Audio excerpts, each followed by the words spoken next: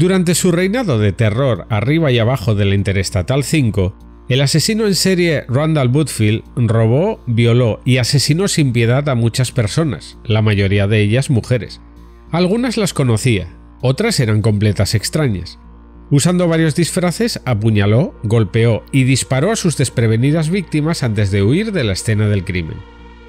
El exjugador de fútbol profesional americano, que una vez fue reclutado para jugar en los Green Bay Packers, se aventuró en un macabro y asesino viaje por carretera a lo largo de la I-5, logrando evadir la captura durante cinco meses completos. Sin embargo, su ofensa no se limitó a este espacio de tiempo relativamente corto. Randall Woodfield había estado exponiendo su lado depravado mucho antes de esto, cada vez escapándose de los dedos de la justicia a medida que sus crímenes aumentaban en brutalidad. Al crecer, Woodfield no dio indicios de que se convertiría en un depravado sexual y mucho menos en un asesino en serie. Nacido el 26 de diciembre de 1950 en el pueblo de las Brujas, Salem, provenía de un hogar respetable en Otter Rock, Oregón, y creció con su padre, un ejecutivo de la compañía telefónica Pacific Northwest Bell, su madre, ama de casa, y sus dos hermanas mayores en la pintoresca comunidad de la costa del Pacífico. Woodfield asistió a la cercana Newport High School sobresaliendo en los deportes. Jugaba al fútbol, al baloncesto y hacía atletismo. Sería durante estos años de adolescencia en los que su inclinación por la exposición indecente y el acoso sexual saldrían a la superficie y esta conducta le llevó a ser detenido en varias ocasiones por exponerse ante algunas chicas locales. La primera vez tenía tan solo 11 años cuando se lució desnudo frente a un grupo de adolescentes en el puente de la bahía de Yacuina. También muestra problemas de ira y sus padres deciden enviarlo a ver a un terapeuta, pero ni sus padres ni el terapeuta se dan cuenta de la gravedad real de sus síntomas. Era conocido como un pipintón o mirón, pero no sufrió repercusiones por su comportamiento lascivo.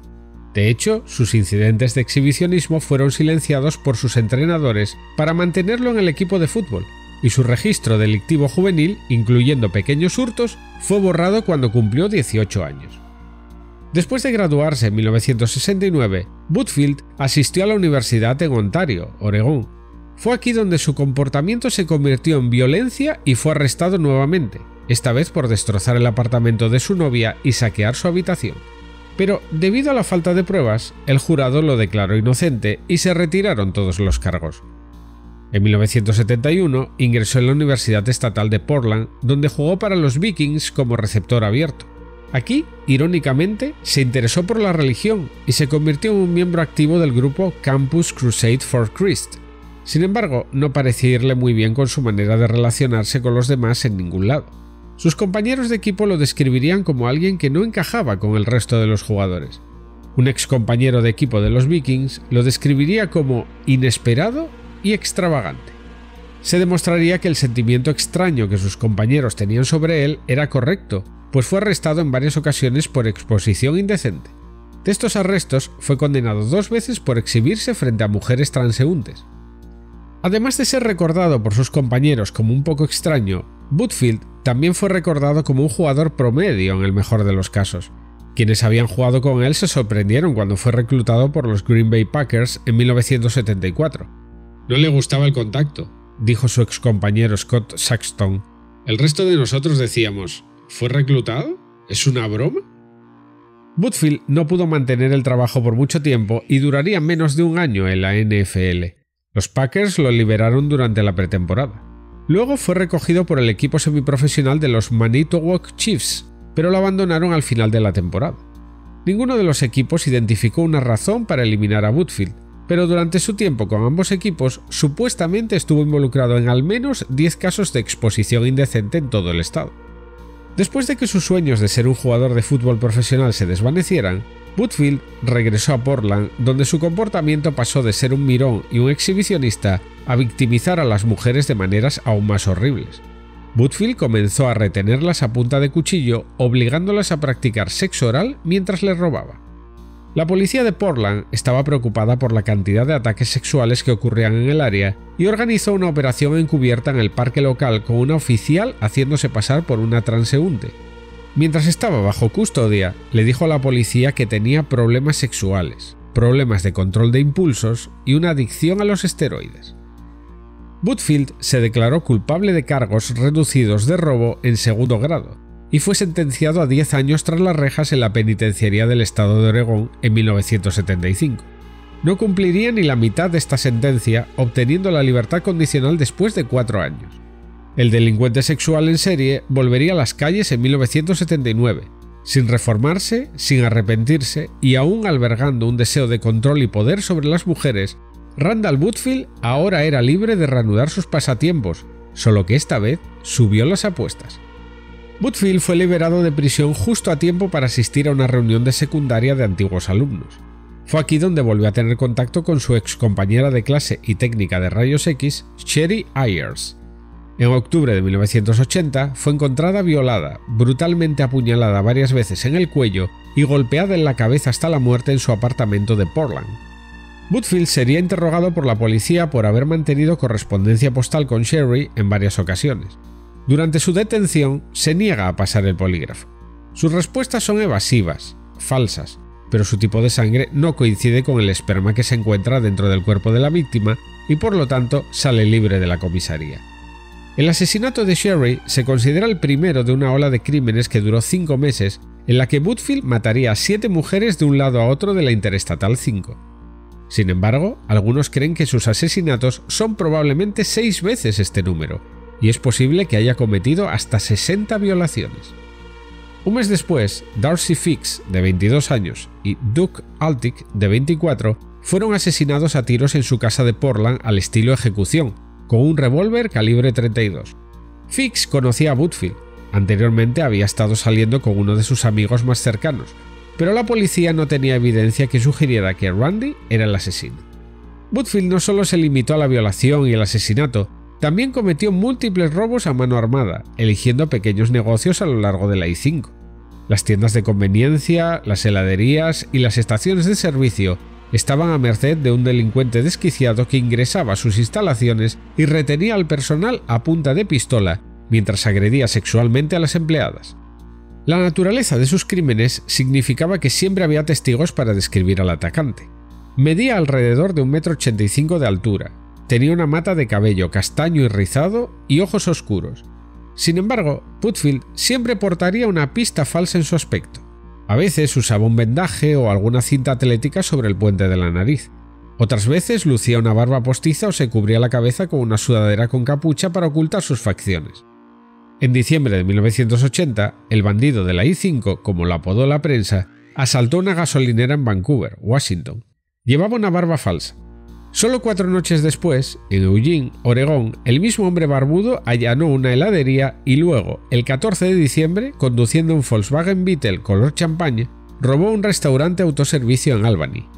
Apenas una semana después, en Seattle, el pistolero retuvo a una camarera en el baño de un chicken bar y la obligó a masturbarlo. Minutos después, sonriendo bajo su barba fingida, saqueó otra heladería y se fue con una buena cantidad de dinero en efectivo. A pesar de las pistas falsas, la policía todavía sospechaba de Woodfield debido a sus conexiones con varias de las víctimas y al hecho de que ya había cumplido una condena tras las rejas. Sin embargo, la evidencia en su contra no justificaba un arresto y se negó a pasar la prueba del detector de mentiras. Las perversiones de Woodfield nunca disminuyeron por mucho tiempo y sus ataques a las mujeres parecían implacables. En enero de 1981 asaltó la gasolinera de Vancouver por segunda vez, obligando a una mujer a mostrarle los senos después de robar la caja registradora. Tres días después operó en Eugene, luego en Sutherland, Oregón, el 12 de enero, donde hirió a una tendera al dispararle. Luego actuó en Corvallis el 14 de enero vuelve a usar su barba falsa y persigue a dos hermanas de tan solo 8 y 10 años de edad en la casa de su familia, obligándolas a desnudarse para posteriormente matarlas. En Salem, cuatro días después, Woodfield se coló en un edificio de oficinas merodeando por los pasillos hasta encontrar alguna presa. Por desgracia, se encontró con Shari Hall y Beth Wilmot, dos jóvenes de 20 años que trabajaban en el edificio. Agredió sexualmente a la pareja aterrorizada y luego disparó a ambas mujeres en la nuca. Sin embargo, el intento de Woodfield de silenciar a sus testigos no fue tan efectivo como esperaba. Hall murió de una sola bala en la cabeza, pero Wilmot continuaría con vida para asegurarse de que su atacante no evadiera la justicia por más tiempo, pero no antes de que pudiera agregar más víctimas a su lista cada vez mayor. En febrero de 1981, Donna Eckhart, de 37 años, y su hija de 14 años fueron encontradas muertas en su casa en Mountain Gate, California. La trágica escena se descubrió con madre e hija juntas en la cama, cada una con varios disparos en la cabeza. La niña había sido sodomizada. El mismo día secuestró a una empleada a la que violó tras cometer un atraco. Pocas jornadas después se denunció un delito similar en la localidad de Ireca. Butfield continuó su enfermizo viaje por carretera asaltando tiendas y agrediendo sexualmente a las empleadas antes de huir. El 15 de febrero de 1981, Randall decidió organizar una fiesta de San Valentín en el Hotel Marriott del centro, invitando a amigos y conocidos de la universidad, pero no aparece nadie.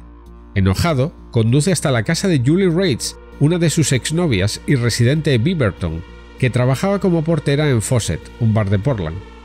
Llegó a su casa alrededor de las 2 de la madrugada y a las 4 la mata de un tiro en la cabeza después de haberla violado. La policía llegó al lugar de los hechos y descubrió que la joven había bebido una copa de vino con su agresor y que se había puesto a preparar un café, dado que se descubrió sobre la encimera un paquete de café instantáneo y una cafetera lista para calentar. Esto llevó a que la investigación se centrara en Butfield, pero la policía no pudo seguirle el ritmo. Para el 28 de febrero había atacado tres veces más, aunque los agentes de la ley lo seguían cada vez más de cerca. Butfield finalmente fue detenido el 3 de marzo de 1981 y posteriormente interrogado. Dos días después, su apartamento fue registrado minuciosamente. Los investigadores descubrieron una caja de balas calibre 32 transparente en una bolsa de fútbol gastada y un rollo de cinta adhesiva correspondiente a la cinta encontrada en algunas de las víctimas. El 7 de marzo, varias víctimas supervivientes lo identificaron en una rueda de reconocimiento policial, incluida Beth Wilmot, la joven a la que pensó que había matado con una bala en la cabeza. Lisa García, otra afectada por sus fechorías, lo reconoció en una serie de fotografías. El caso contra Butfield cobró fuerza rápidamente. Llegaron a comisaría una gran cantidad de pruebas incriminatorias y acusaciones de jurisdicciones en Washington y Oregón, incluidos múltiples cargos de asesinato, violación, sodomía, intento de secuestro y robo a mano armada. El jefe de policía de Beaverton, David Bishop, dijo sobre el patrón del asesino. De repente se hizo evidente. Todo giraba en torno a un mapa de la I-5. Butfield era adicto al teléfono, hizo miles de llamadas, tenía novias en todas partes. A pesar de cometer los crímenes lo más rápido que podía, Butfield siempre hacía tiempo para detenerse y llamar a sus muchas novias a través de los teléfonos públicos cercanos, algo que ayudaría a atrapar al asesino y vincularlo a las escenas del crimen. En sus declaraciones admite el exhibicionismo y el robo, pero siempre niega los asesinatos. ¿Asesinato? De ninguna manera. Soy inocente de este terrible cargo de asesinato.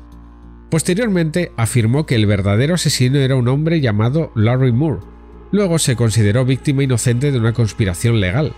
También negó que tuviera las manos pequeñas, herpes y bajo coeficiente intelectual.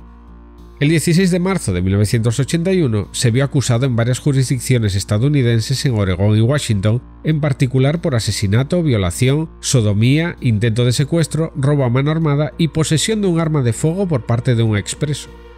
El primer juicio a cargo del fiscal de distrito del condado de Marion, Chris Van Dyke, hijo del afamado actor Dick Van Dyke, es el que lleva a cabo en Salem. El 26 de junio de 1981, luego de tres horas y media de deliberación, fue condenado a 90 años de prisión.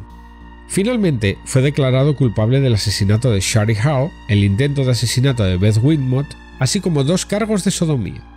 Se agregaron otros 35 años a su sentencia en diciembre de ese mismo año, cuando fue nuevamente condenado por cargos de sodomía y armas por su ataque a una mujer en el baño de un restaurante.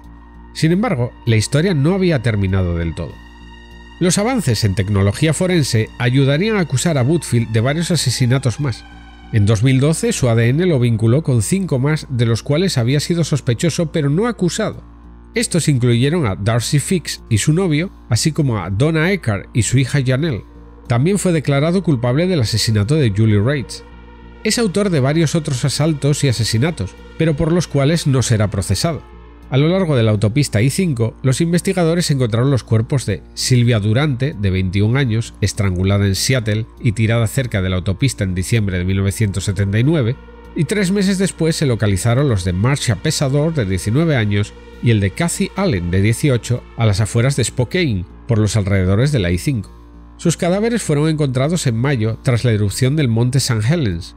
También se descubrirían otros cuatro cuerpos cerca de Huntington Beach, California, donde Butfield estuvo al mismo tiempo.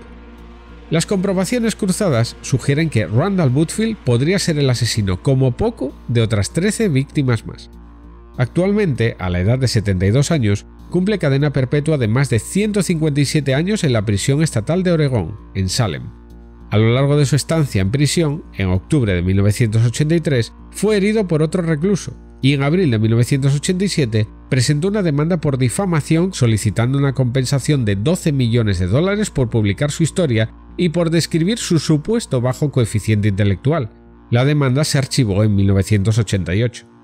En 1990, luego del descubrimiento de otras víctimas, se le consideró sospechoso de no menos de 44 homicidios.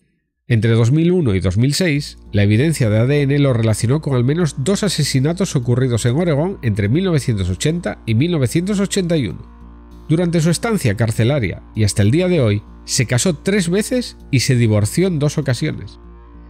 Si bien Butfield trató de cubrir sus huellas con disfraces y un comportamiento errático, sus crímenes aumentaron rápidamente y conocía a algunas de las víctimas, lo cual lo marcó como sospechoso. En última instancia, Butfield no era tan inteligente como él mismo pensaba. A pesar de que nunca admitió ninguno de los crímenes que cometió, la evidencia abrumadora y los avances en la tecnología del ADN significan que nunca volverá a estar libre. Si quieres que el canal siga adelante, dale like al vídeo compártelo y suscríbete al club de los caminantes del terror.